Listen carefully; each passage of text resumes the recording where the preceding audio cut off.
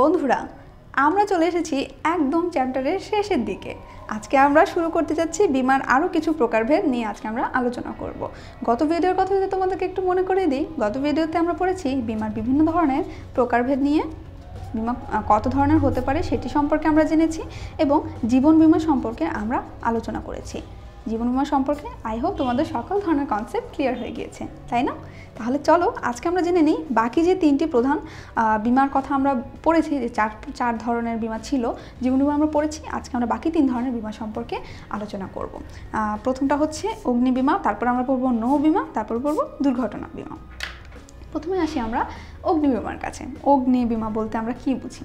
Basically অগ্নিজনিত ক্ষতির জন্য যদি ক্ষতিপূরণ দানের কোনো বিমা হয়ে থাকে, তখনই সেটা হবে অগ্নি বিমা অর্থাৎ অগ্নিজনিত সকল ধরনের ক্ষতির ক্ষতিপূরণ দান করবে বিমা বিমাকারী। বিমাকারী, বিমা চুক্তির মাধ্যমে বিমা গ্রহীতাকে এই ধরনের ক্ষতির ক্ষতিপূরণ দান করবে।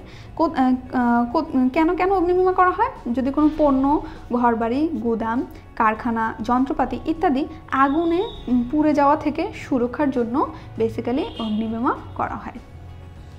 অর্থাৎ এই এই জায়গা, এই- জিনিসগুলোকে আগুনের হাত থেকে রক্ষা করার জন্য বা আগুনের হাত থেকে সুরক্ষা প্রদান করার জন্য কোনো ব্যবসায়ী অগ্নিবীমা করতে পারে। তারপরে আসি আমরা নৌবিমাতে নবীমাতে নদী ও সামুদ্রিক যাত্রা থেকে সৃষ্ট ঝুঁকির ক্ষতিপূরণ দেওয়ার যে প্রতিশ্রুতি দেওয়া হয় সেটাই হচ্ছে নবীমা অর্থাৎ নদীপথে অথবা সমুদ্র যাত্রায় যদি ব্যবস- ব্যবসায় কোনো পণ্যের বা কোনো সেবার হচ্ছে কোনো ধরনের ক্ষতি হয়, তো সেই ক্ষতিটাকে কমানোর জন্য বা পরিহার করার জন্য আমরা হচ্ছে নৌবিমা কোনো ব্যবসায় নৌবিমা করতে পারি। পৃথিবীর সব বেশিরভাগ ব্যবসা বাণিজ্যের যে পণ্য, সেটা কোন দিক থেকে কীভাবে পরিবাহিত হয়, সেটা হচ্ছে বেশিরভাগই নৌপথে পরিবাহিত, কারণ নৌপথ হচ্ছে মোটামুটি সেফ এবং হচ্ছে তুলনামূলক কম খরচ লাগে। দ্যাটস ওয়াই নৌপথ অনেক বেশি জনপ্রিয়। তো এই নৌপথের সৃষ্ট সকল ধরনের ঝুঁকি থেকে রক্ষা করার জন্য নৌবিমা করা হয়। কীরকম? ঝড়, প্রাকৃতিক ঢেউ সুনামি ইত্যাদি হচ্ছে প্রাকৃতিক যে ঝুঁকি সেগুলো দস্যুতা, অপ্রাকৃতিক ঝুঁকি এগুলো হতেই পারে। এই ঝুঁকি থেকে সুরক্ষার জন্য আমাকে আমি যদি নৌবিমা করি তাহলে সেটি আমাকে সাহায্য করবে। তারপরে আসি আমরা দুর্ঘটনা বিমায়। দুর্ঘটনা বিমা বেসিক্যালি ব্যক্তির জীবন বা সম্পত্তি বিনাশের যে ঝুঁকি সেটি থেকে হচ্ছে আমাকে সেটি পরিহার করা বা সেটি কমানোর জন্য আমাকে হেল্প করবে দুর্ঘটনা বিমা। যদি কোনো বিমা গ্রহীতা আশঙ্কা করে থাকে যে এই ধরনের ক্ষতি হতে পারে, আশঙ্কিত দুর্ঘটনা যদি দুর্ঘটনা ঘটতে পারে, তখন তিনি যদি বিমা করে রাখেন, তখন কি হবে? এই ধরনের দুর্ঘটনা যদি ঘট- পরবর্তীতে, তাহলে যদি এই ধরনের দুর্ঘটনা ঘটে তাহলে হচ্ছে বিমাকারী বিমা গ্রহীতাকে সম্পূর্ণ প্রিমিয়াম সম্পূর্ণ অর্থ ফেরত দিবেন ঠিক আছে?